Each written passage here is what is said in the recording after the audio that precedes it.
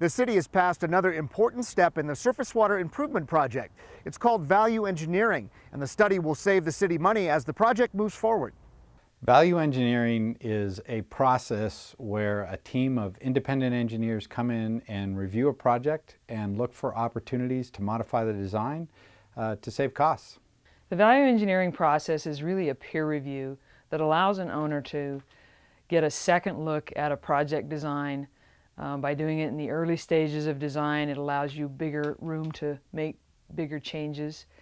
It essentially pulls together a team of specialized engineers that are familiar with the type of project they're looking at, and they look at different ways to increase the value of the project and at the same time save the owner money. I think it's important to turn to outside firms to make sure that there is an objective source looking at all the costs along the way to make sure that the costs are kept within reason and we don't rely on one source to give us all of our news. The study was conducted by a firm from Florida called RSRI. They're a, value, a nationally recognized value engineering firm that we selected through the competitive RFP process.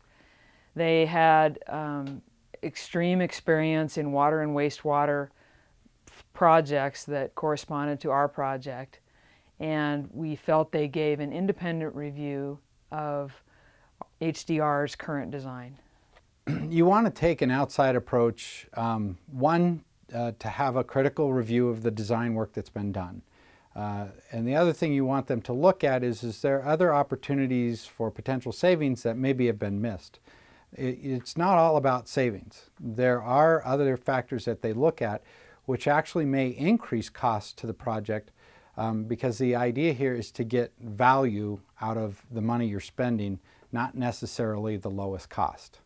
Well, by going outside for, with an independent firm for a value engineering, you get a second set of eyes. You get a group of experienced engineers who have seen things done differently, have other experiences than maybe your, the design team that you've already selected.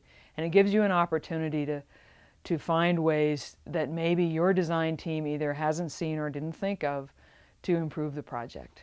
And they come in and they are looking at the project um, to potentially find efficiencies in the design, uh, but not only that, uh, they are also looking to see if there had any anything had been missed in the design. And then the other thing they found was uh, opportunities to reduce costs on this project. Um, right now, we're in the area of three to five million dollars in savings from uh, potential design modifications.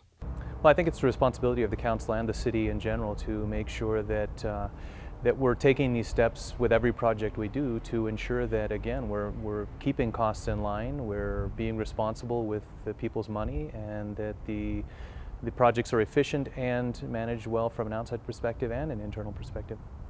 As a result of the value engineering effort, the VE team validated the continued use of a dual source system, the continued use of in, the intake structure on Bridge Creek, and the use of the membrane filtration as the appropriate technology for our new water treatment plant.